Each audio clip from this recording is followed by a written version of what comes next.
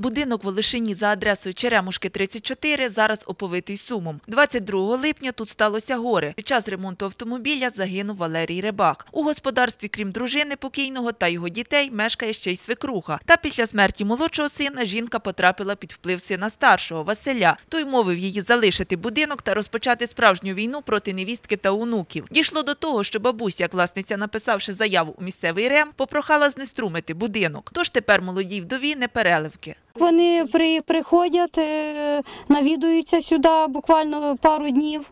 З дня смерті нікого не було, тільки два дні.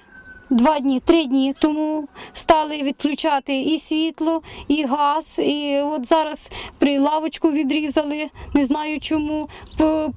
Постільне більйо діти знайшли, яке я повісила, вони знайшли в городі. Йде тиск для того, щоб мене звідси е, виселити.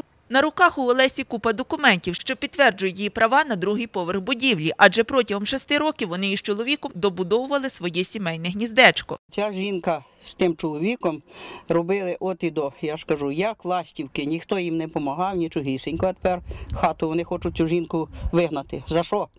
За те, що вона так наробилась? Як стверджує Олеся Самчук, на її адресу не раз лунали погрози зі сторони чоловікового брата. Налякані діти не раз бачили увечері автомобіль дядька біля дому. Той вичікує момент, щоб зробити якусь шкоду. Від коментарів відмовляється. Мати Олесі не може зайти у будинок. Вони від дня похорон тої свахи тут нема. Вони всі повтікали звідси з цього дому.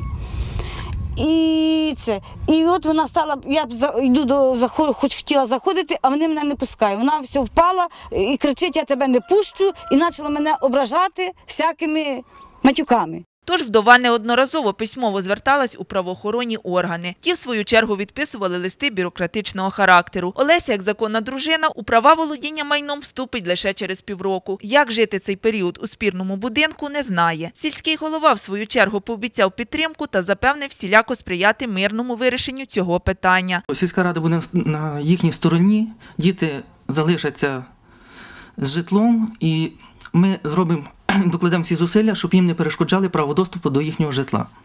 Е, Спільно з діями правоохоронних органів ми будемо вживати всіх заходів. Ми й надалі будемо слідкувати за перебігом подій у цій непростій справі, адже крапку тут ставити іще зарано.